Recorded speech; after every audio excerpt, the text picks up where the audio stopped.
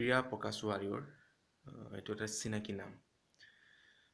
এখন আহিবলগীয়া মালায়ালম ছবি অৰু আদাৰ লাভ আৰু তাৰ এটি গান মালেকাই মালাৰাই আৰু।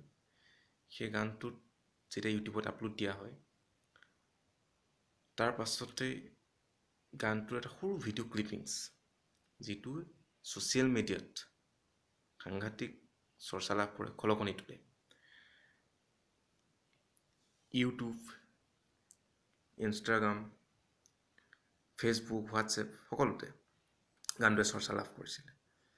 আৰু সেই গানটোত প্ৰিয়া প্ৰকাশ ৱাৰিয়ৰ যিটো সেই ভিডিঅ' ক্লিপিংছটো আছিলে যিটো যি অভিব্যক্তি আছিলে যি এক্সপ্ৰেশ্যন সেই এক্সপ্ৰেশ্যনে আচলতে দেশৰ যুৱ প্ৰজন্মক বাৰুকৈ আকৰ্ষিত কৰিছিলে। আৰু তেওঁ প্ৰথম ছবি আছিলে। প্ৰথম ছবিতেই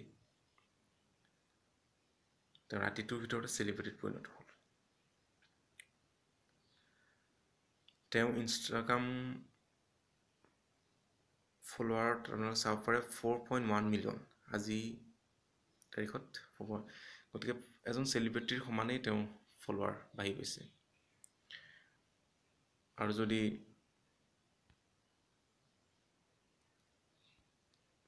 টুইটাৰত চাওক টুইটাৰ একাউণ্টটো চাই। টুইটাৰ একাউণ্টটো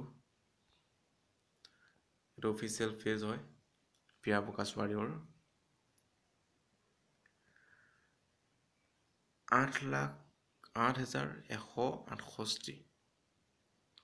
Eight thousand one hundred sixty eight followers within one week সাংঘাতিক কথা। আৰু এনেকুৱা ধৰণৰ ঘটনা আগতে ঘটা নাই বোধ কৰোঁ ভাৰতত। এই প্ৰথম।